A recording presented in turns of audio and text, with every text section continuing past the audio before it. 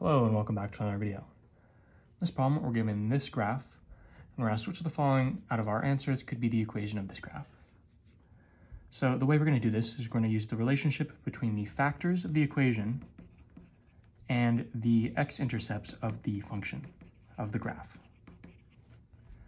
So if you have a factor of x minus a, then your x-intercept is going to be a0, right, where a is just some number.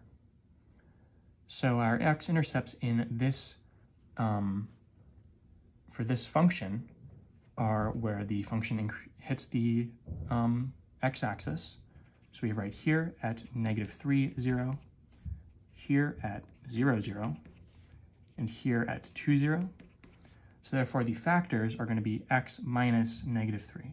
So x plus 3, x minus 0, which is just x, and x minus 2, which is x minus 2. And now we have y is equal to x times x plus 3 times x minus 2, and you multiply all these together, and you get your function. Almost. So you might notice here, the so the way that we can reason this, right, is if you're trying to solve for when, for this first example, right, let's say 0 is equal to x times x minus 2 times x plus 3. Right, so we're looking for the value of x when y equals equal to 0. And you can see how that relates to the x-intercepts, right? Because this is the value of x when y is equal to 0. And the way you do this is you say, okay, we have this can be equal to 0, this can be equal to 0, or this can be equal to 0 for these for this product of these three things to be equal to zero, one of them has to be equal to zero. So we say, okay, x is equal to zero, x minus two is equal to zero, x plus three is equal to zero, right? And then you can solve these, right? And you can get x is equal to two as your solution. Okay, x is equal to negative three as your solution. And you get, okay, we, we these are the solutions of the equation. So this is the x-intercepts of the graph, zero, two, and negative three.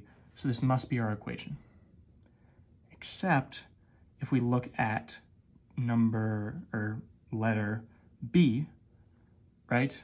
x minus 2 and x plus 3 both have to be equal to 0, right? That stays the same.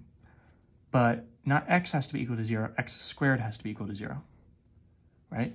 So therefore, if we take the square root of both sides, x has to be equal to 0. So we have 0, 2, and negative 3. Well, that's the same thing we got right here. So how do we know which one it is? We have to look at the behavior of the graph.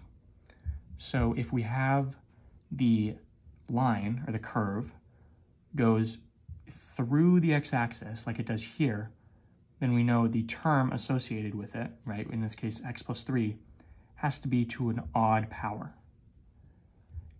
Same thing here at 2, it goes through the x-axis and keeps going, therefore it has to be to an odd power.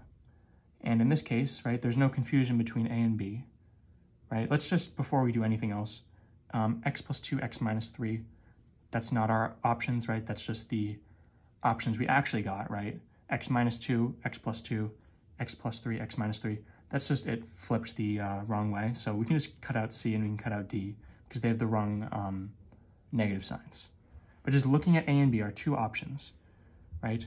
x minus 2 and x plus 3, those are good in both of them because they the function goes through the line, it goes through the x-axis, and both of these are two odd powers. They're both to the first power in all in both of our options.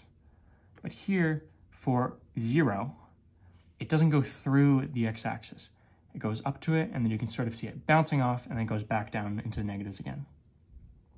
So if it's bouncing off, that means it has to be to an even power. So therefore, it could be x squared, x to the fourth, x to the sixth. Our only options here are x to the first power and x to the second power. So therefore we know it has to be x to the second power because that's the only even option. So therefore we know B must be our final answer. As always, thank you for liking and subscribing, and I'll see you in the next video.